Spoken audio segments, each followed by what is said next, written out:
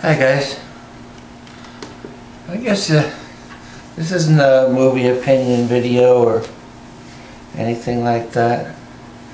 Uh, I've been watching the news and it seems like all of our thugs are getting pushed out of power by the local young people, which is a good thing because whether there are thugs or not, they're still not very nice people and they're not very good to their own people. So uh, I see a lot of people very happy about it though.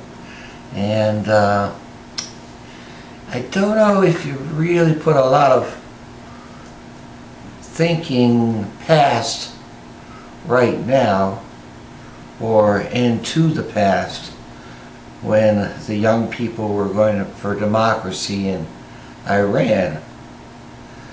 And they put the Shah out and all the Ayatollahs came back. Now, everyone thinks that, I don't know what they think is going to happen. What governments are going to take over, if it's going to be a Napoleonic sort of thing where the fellow who runs the military is going to run the government. They, they seem to think that in uh, in uh, Egypt anyway, where those uh, men uh, brutally raped that woman repeatedly in the street. Uh, but that kind of got glossed over. We don't want to talk about that when there's all this joy of democracy going on, do we? Well,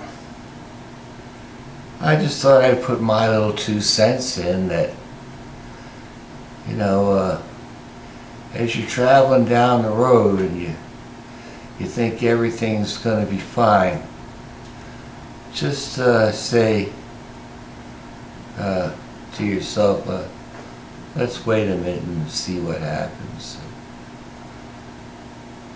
So uh, hopefully everything will work out.